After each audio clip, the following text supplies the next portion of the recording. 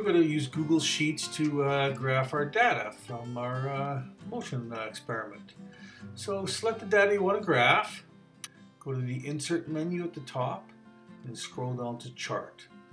Uh, the titles at the top should be selected because see how they nicely appear on the axes. Time on the x-axis and of course the distance where it should be on the y-axis. Resize and move as uh, desired. Okay, double click on that graph and see all the menus to the right. Select series, should be under customization. Scroll down, you want trend line. Yes, there it is. Should be linear, should be a straight line. Sure hope it is. And under label, use equation. Note how let's put a little equation up there. And right in front of the x is your slope value. You want that slope value right there. Uh, r squared, that's optional. The closer that value is to 1, the straighter the line the data is. And that's a good thing.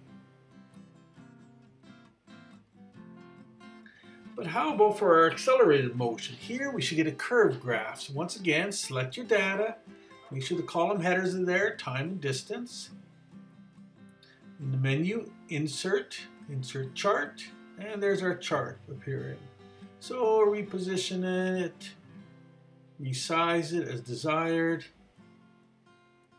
And once again, double click on it, or maybe it's already open, hit customization, top right, series, open the series menu, and then scroll down once again to trend line. But this should be a curve, not linear. So we'll curve, and it should be a polynomial to degree 2.